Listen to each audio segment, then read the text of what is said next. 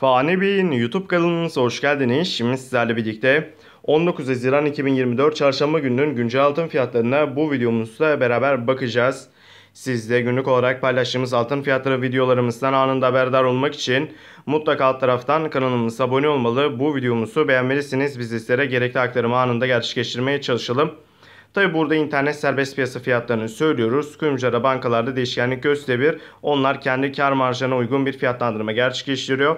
Son zamanlarda altın fiyatlarında neredeyse bir değişiklik yok. Hep aynı seviyede duruyor. Ons altın da aynı, dolar da aynı. Bakalım bu ne kadar zaman devam edecek. Burada tabii ki e, merkez bankalarının açıkladığı faiz de son derece önemli.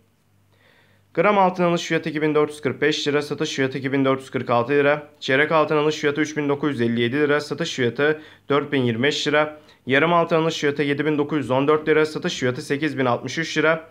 Tam altın alış fiyatı 15779 lira, satış fiyatı 16053 lira. Cumhuriyet altın alış fiyatı 16145 lira, satış fiyatı 16531 lira. 14 ayar altın alış fiyatı 1391 lira, satış fiyatı 1393 lira. 18 ayar altın alış fiyatı 1779 lira, satış fiyatı 1781 lira. 22 ayar bezik alış fiyatı 2224 lira, satış fiyatı 2300 lira.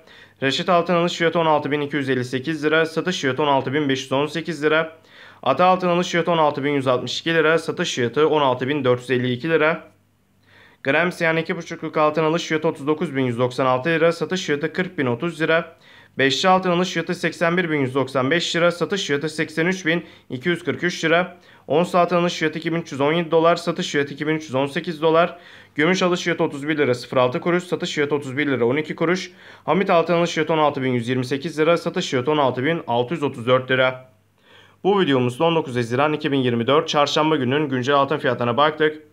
Videomuz bu kadardı. Umarım videomuzu beğenmişsinizdir. Videoyu beğendiyseniz aşağıdan beğen butonuna kılmayı unutmayın. Kanalımıza abone değilseniz lütfen abone olun. Bir sonraki videomuzda görüşmek üzere. Hoşçakalın.